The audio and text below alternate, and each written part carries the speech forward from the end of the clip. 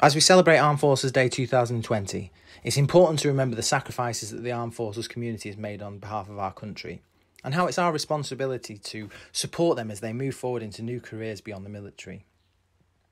Transition from the military into the civilian world is often a complex and unsettling process, which many are unprepared for. Along with relocation and financial pressures, the cultural change is mentally demanding, which can lead to an individual not knowing how to proceed. Within days, an individual can lose their sense of identity and purpose, they can become unemployed, and they can struggle to apply their skills and experience. Whereas previously they had status, were respected, and embraced responsibility, they can quickly become isolated and disenfranchised. Across the construction industry, there's a severe shortage of skills leading to rising costs and an inability to meet government construction targets. Further to this, the veteran community is significantly underrepresented within the industry, with few clear pathways into employment. We at Project Recce believe that we've got a solution to this. We bring together a unique combination of skills and experience from the military and the construction industry to deliver a bespoke programme and roadmap into the construction industry. Through a comprehensive understanding of the transition process, we've created an innovative programme within a strategic network.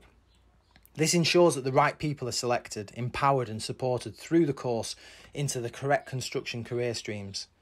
Simultaneously, we advocate the service leaver as a positive and vital pool of talent for the construction industry. That's what we do at Project Recce. Project Recce was created by veterans who'd experienced the difficulties of transition, who'd experienced the pain of having mental health problems that were undiagnosed and they were unable to be fixed. We came together and we learnt the best practice on how to move forward into a new career. And we realised that the construction industry was a perfect fit for all of the transferable skills and experience you develop through your career in the military. We built a network.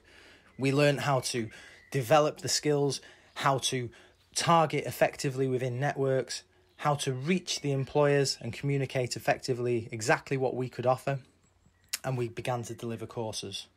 We've been delivering courses for two years now, and we've supported over 150 people into construction careers. All of these service leavers are then able to move out into the construction industry and start to set up their own networks, which then they can use to help further service leavers to move into the industry. This is Armed Forces Day, and Armed Forces are always going to look out for each other. They're always going to support each other no matter what. And through Project Recce, we've been able we've been able to provide a community whereby people can reach out into the construction industry and support each other into new careers to ensure that they're able to maintain the correct mental health, that they're able to correct, maintain the correct support networks, the correct counselling, the correct coaching, and the correct mentoring so that they can move forward and demonstrate to the wider country how effective it is to have service leavers within the construction industry.